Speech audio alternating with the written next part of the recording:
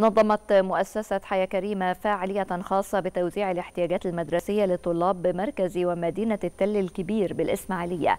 وذلك ضمن مبادرة راجعين نتعلم بالمحافظة. وأكدت مؤسسة حياة كريمة أنه يجرى عمل بحث استقصائي بالأسر المستحقة مع تحديد أماكنهم في أكثر من 20 محافظة مشيرة إلى أنها تمكنت من الوصول إليهم وتوفير أكثر من 55 ألف خدمة تعليمية مختلفة. إحنا النهارده بنوزع آلاف الهدايا اللي السيد الرئيس بعتها لأهالي آه، شعب مصر وجميع قراه وجميع مراكزه.